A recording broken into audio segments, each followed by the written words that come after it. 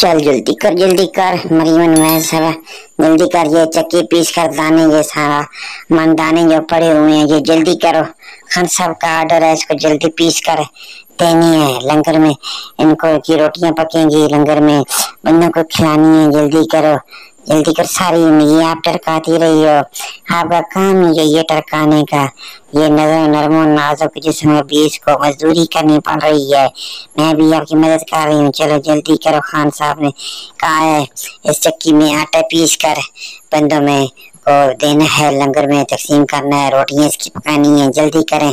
جلدی کریں، میں بھی اوپر سے دانے ڈال رہی ہوں اور آپ کی حالت پا رہی ہوں۔ یہ نرم سا بدن آس کو تھوڑا سا ضرور لگاؤ۔ ہم تو بوڑھے ہو گئے یہ کام کام کر کر کے، کر کر کے ابھی تک ہم تھکے نہیں ہیں۔ لیکن ہم ہم کام کرنا ہمیں آتا ہے۔ ان کا صرف مقصد یہ ہے، اپنا باہر کا پیسہ کیسے بچانا ہے؟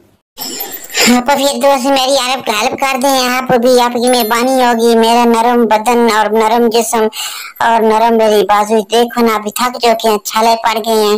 مزدوری کر کر کے تھک چکی ہیں۔ تھوڑا تھوڑا مجھے بھی یار میرے ساتھ کرتے رہیں۔ آپ کی مہربانی ہوگی۔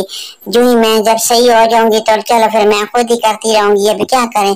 خان صاحب کی وجہ سے ہمیں یہ مزدوریاں کرنی پڑ رہی ہیں۔ نہ ہمیں مزدوری کا پتہ تھا، نہ ہم کرنے کر سکتے تھے۔ نرم بدن یہ ہم بستر میں سوئے ہوئی ہیں رہی ہیں، ہمارے آرام سکون سے ہم پلی بڑی ہیں۔ میں دانے ڈالتی ہوں تھوڑا سا ہیلپ کرتی جائیں، آپ کی مہربانی ہوگی۔ یہ سرکاری لنگر کے دانے جو ہم پیس رہی ہیں، آپ تھوڑا سا صحیح پرانی ہیں تاکہ مجھے سمجھاتی رہیں۔ تو ساتھ میں کیسے چلانا ہے؟ تاکہ تھک بھی، تھکو بھی نہیں اور کام بھی کرتی جاؤں، آپ کی مہربانی ہوگی۔ آپ پر پھر دوست بہت آپ کا بڑے بڑے مہربانی ہوگی۔ کیوں؟ خان صاحب تو ابھی ہمیں چھوڑ نہیں رہا، غریب ہم ہو گئے ہیں، مزدوری ہمیں مجبوری سے کرنی پڑ رہی ہے، آپا فردوس۔ اچھا۔